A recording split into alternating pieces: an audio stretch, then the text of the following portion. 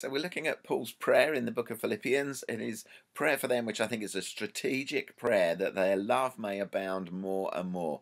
And it's hard to overstate the um, the abundance, the superabundance that Paul implies here. There, there's he just wants them to go for this in such a huge way that that they're known and recognised for the love that they have for each other. And uh, I think that's that's really well worth thinking about how how we do that better, how we do that better as a small group, how we do that better with people coming into the church, how we do that better with folk who who've been around a long time that we we don't really know, how we love one another who uh, don't love us back, how we love people who maybe we feel are a bit unlovely, and uh, and and how we do that well because as we do that we know God better. Uh, and I love that link that is implicit here, well, more than implicit here. It's stated here, but it's uh, it's really drawn out in one John chapter four. And if you want a Bible study, have a look at that passage and the link between love and knowing God.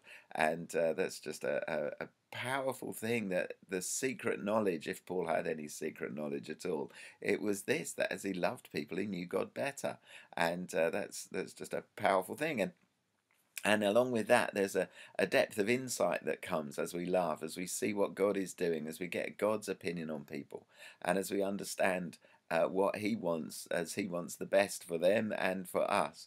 And so, this insight is really an insight into what God is doing. I think we'll know better what God is doing as we love people.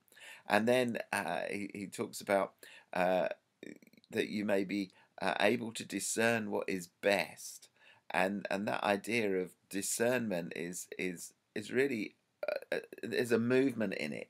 It's what way forward? How can we how, how can we get ahead in this? How can we move on with this? How can we we see what God is doing and throw ourselves in with it? How how can we uh, discern uh, good guidance uh, for us and for others as we love one another? And that happens out of a place of love you know, words of knowledge, words of wisdom, they come from a place of love, from a heart of love. And if we can do that, uh, then we get much better guidance.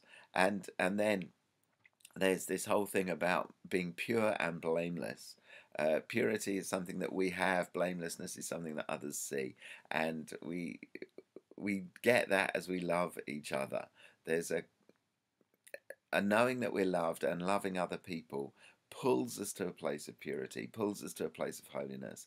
It, it's much better than telling people off. It's much better than uh, being negative and judgmental and critical. It's, mu- it, it's much better simply to love.